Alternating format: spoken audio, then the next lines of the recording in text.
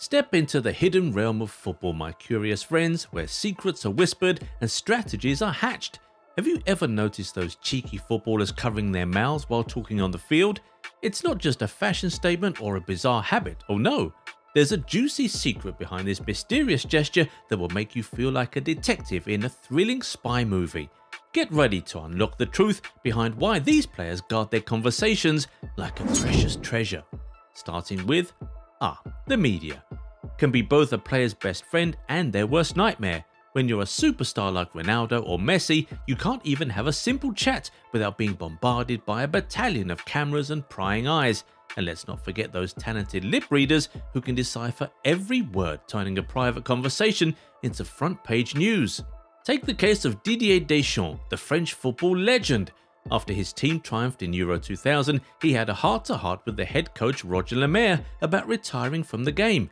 Little did they know the cameras were rolling, capturing every precious word, and you can bet those lip readers didn't waste a second before revealing Deschamps' secret to the world. But it doesn't end there. Can you believe that during the World Cup, poor Roy Hodgson had to face a lip reading blogger who threatened to expose every single word he uttered on the bench? Talk about invasion of privacy, no wonder players are becoming more cautious by the day. So, to protect themselves from the prying eyes and eager ears of the media, these clever athletes resort to a simple yet effective trick covering their mouths while talking. The second reason is strategy. Imagine you're standing over a free kick, the crowd on the edge of their seats, and your team huddled together planning your next move. That's why players have mastered the art of covert communication, employing the trusty hand over mouth technique.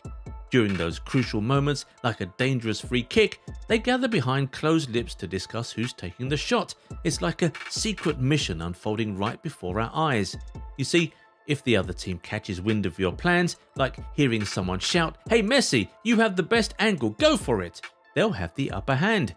They can swiftly relay that information to the goalkeeper, leaving you with a diminished chance of scoring. But it's not just the players who play this game of secrecy, Managers are equally crafty when it comes to sharing their strategies mid-game. Imagine the scene, a tense match, the clock ticking away, and the manager approaching a player on the field. They lean in, covering their mouths as they disclose their top secret plan, switching the formation to a 5-3-2 and parking the bus, a strategic move that must be kept hidden. While strategy and covering the mouth is a deadly combo, another reason why players employ mouth hiding tactics is saying vulgarities or slurs. You see, the world is brimming with individuals who harbour a liking for saying unspeakable things, and let's be honest, we're all guilty of the occasional slip up, dropping an F-bomb or two in moments of frustration. It happens, it's human nature, but during a game of football with so many cameras on you, you want to be rather more cautious. So, how to maintain your image while venting your emotions? The answer lies in a simple act covering your mouth. But there exists a much more sinister side to this phenomenon. Remember the case of Slavia Prague defender Ondrej Kudela? He faced a 10-match ban from UEFA for his racist behaviour towards Rangers midfielder Glen Kamara. In an attempt to conceal the gravity of his words, Kudela resorted to covering his mouth, obscuring the evidence of his degrading and vile slurs. This despicable action sparked a fiery debate, with the renowned manager and football legend Clarence Seedorf suggesting that players should face consequences for covering their mouths during conversations on the field. Lastly, the thunderous sound of a packed football stadium can make communication a daunting task. Hallowed grounds like the iconic Old Trafford, Santiago Bernabeu, and Camp Nou have witnessed moments of sheer passion that can make the eardrums tremble.